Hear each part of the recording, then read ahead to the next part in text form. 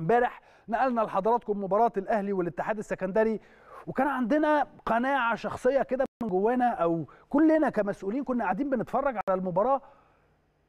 كل المسؤولين كل زمايلي اللي قاعدين ورا كل الناس كانت قاعدة تتفرج على المباراة امبارح. بجد كنت تحس هنا إن صالة الدكتور حسن هي جنبنا بالمناسبة. صالة الدكتور حسن مصطفى تحس إن هي كانت هنا النهارده امبارح. كله كان قاعد بيتفرج. كابتن هيثم السعيد الأستاذ إيهاب الخطيب المجموعة اللي كانت موجودة كلها كل الناس الأساتذة اللي ورا الكاميرات الأساتذة اللي بيعملوا كل حاجة كلهم كانوا قاعدين بيتفرجوا.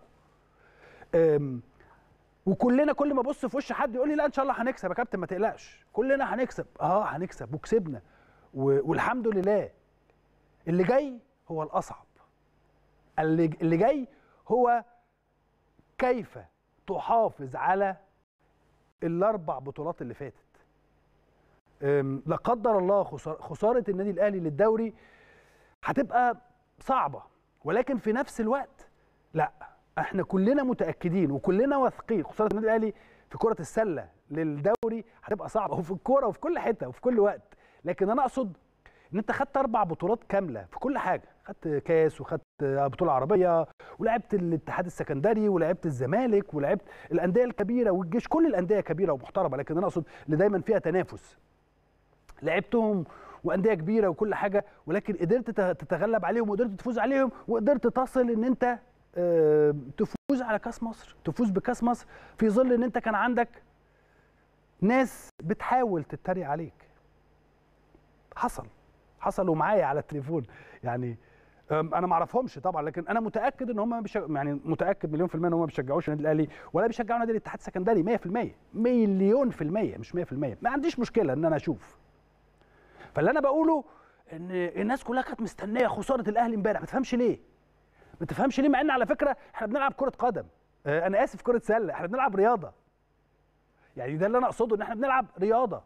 لا قدر الله اتغلبت ببقى زعلان ومتضايق وكل حاجة ولكن بصحح أخطائي علشان وهو ده اللي حصل السنين اللي فاتت إن أنا شفت إيه الأخطاء اللي عندي إن أنا عندي مجموعة لاعبين جيدين كانوا محتاجين آه، مدير فني آه، بإمكانيات معينة وبمستوى معين جبت ال- المدير الفني اللي أنا شايفه آه، يمشي معايا كنادي أهلي وحصل وقدرنا فعملنا مع مجموعة اللاعبين مع وجود مدير فني مع إدارة نشاط رياضي جيدة وواقفة ورا الفريق وورا كل الفرق الرياضية مع مجلس إدارة بينفذ لل- للعيبة اللي موجودة دي كل اللي هم عايزينه خلاص. توكل على الله شوف شغلك. الراجل بيتمرن الناس بس آه، بيشوف شغله الدنيا ماشية الأمور كويسة. سلام. 100 100 برافو عليك.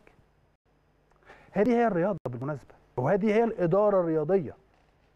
هي بسيطة بس مش أي حد يعرف يعملها. عارفين اللي هو يقول لك إيه؟ أصعب حاجة في الدنيا اللي هي أسهل حاجة التمريره السهلة. إحنا دايما كان المدربين يقولوا لنا إيه؟ العب اللي قدامك. أسهل حاجة الكرة السهلة البسيطة. هي أنت تحس إن هي سهلة وأنت قاعد بتتفرج ولكن هي صعبة جدا جدا جدا على المنافس. صعبة جدا جدا جدا على المنافس. عشان كده شابوه يا كابتن خطيب. شابوه لمحمود الخطيب. ولما ما ما بقول مج... كابتن خطيب يبقى بقول مجلس إدارة بالكامل.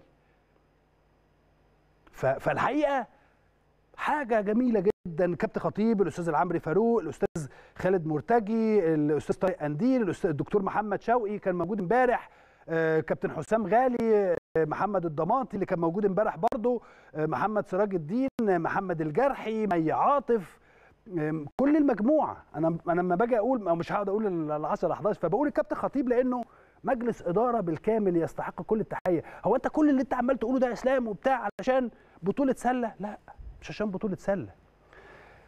علشان منظومة ناجحة. نموذج للمنظومة الناجحة المفروض إن إحنا نشوفه في كل المؤسسات الرياضية.